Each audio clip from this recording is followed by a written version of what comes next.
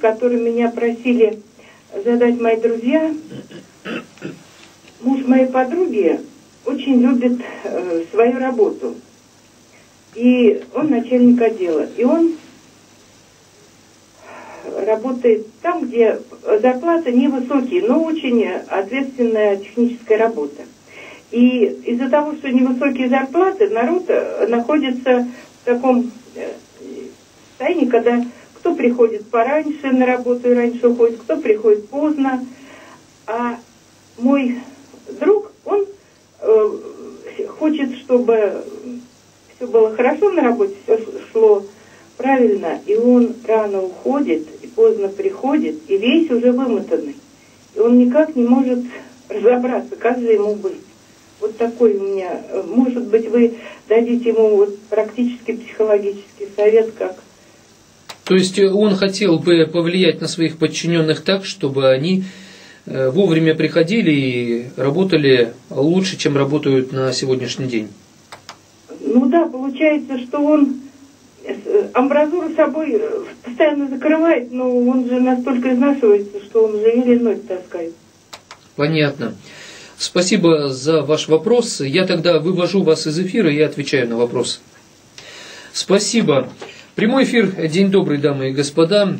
Как вести себя начальнику, если он готов, как Александр Матросов, бросаться на амбразуру и закрывать своим телом от э, ударов смертельных пуль своих подчиненных, а они не выполняют свои обязанности так, как надо.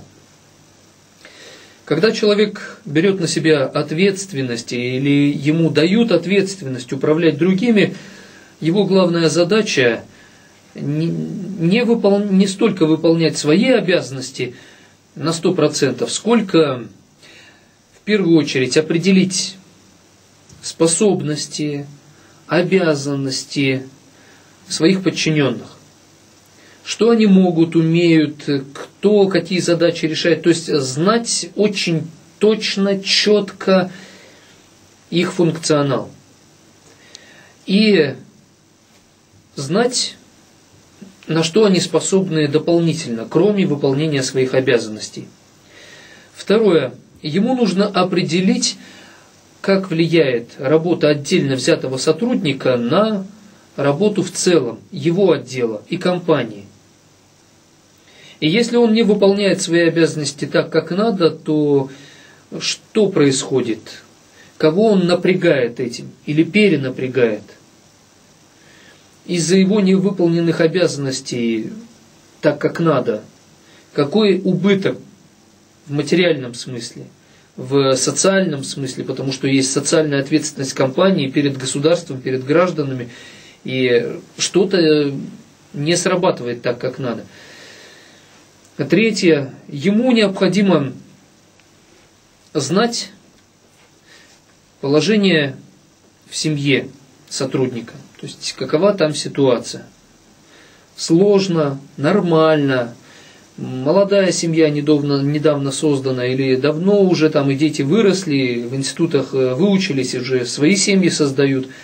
То есть э, ему, руководителю, нужно знать максимально все, что только можно знать о своих подчиненных.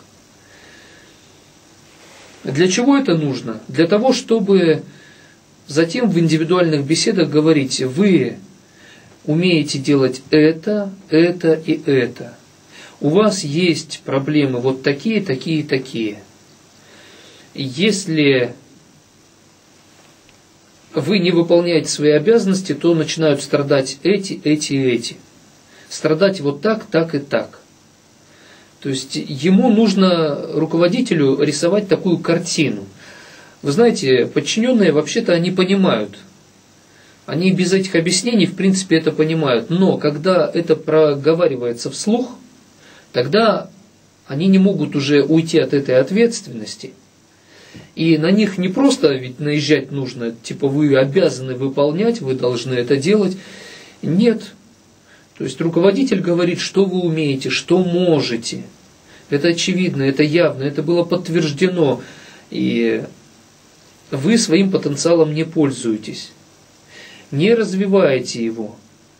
Я как руководитель, не имею права дать вам возможность расслабиться и как личность становиться слабее. То есть его главная задача как руководителя помогать своим подчиненным раскрывать свой потенциал. Затем ему нужно продумать меры наказания. Для этого собрать нужно коллектив и провести, значит, нужно поставить э, на обсуждение два вопроса. Первый, какие проблемы, даже три вопроса нужно поставить.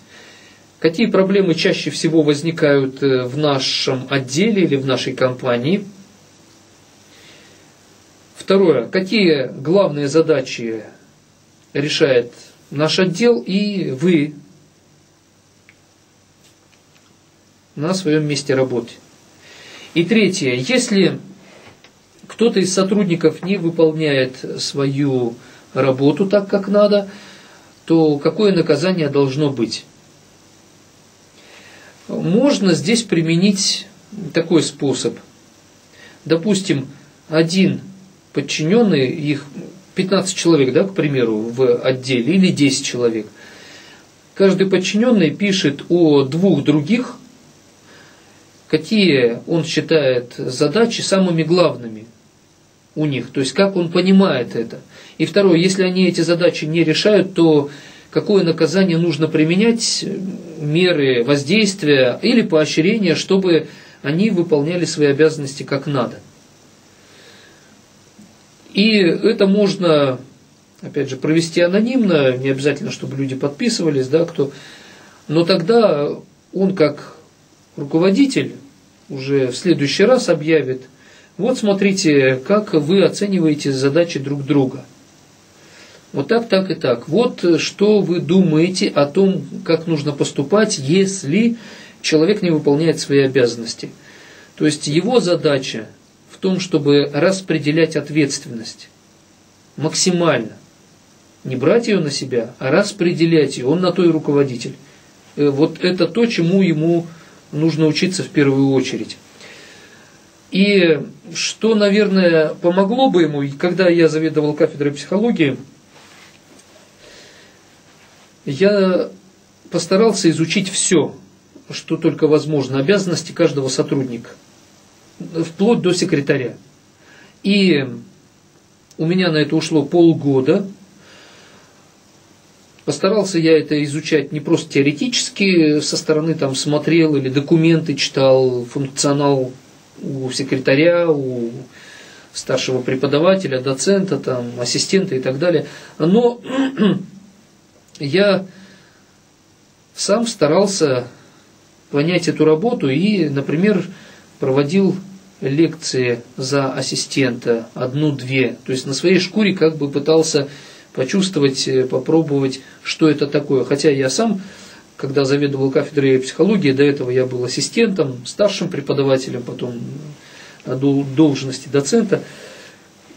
То есть э, руководителю было бы неплохо в, в какой-то мере побыть в роли э, своего подчиненного. В принципе, он даже может устроить э, некую игру, и, допустим, час в день он выполняет обязанности одного из подчиненных. А этот подчиненный становится в роли руководителя, но не принимает решения, а просто наблюдает. И будучи начальником да, на один час, он э, делает какие-то записи, наблюдения и выводы в итоге. Кстати, вот такого рода тренинг уже в ходе работы, он тоже поможет э, начальнику собрать необходимую информацию. И, знаете, это позволит ему как бы не от своего имени говорить коллективу, что так и так, а каждый уже будет высказывать свои мысли, соображения, и таким образом ответственность за управление, за причинение неудобств тому или иному сотруднику как бы наказание, да, оно будет уже делегировано всем. То есть все будут в этом участвовать. Иначе руководителя могут сделать козлом отпущения. Прямой эфир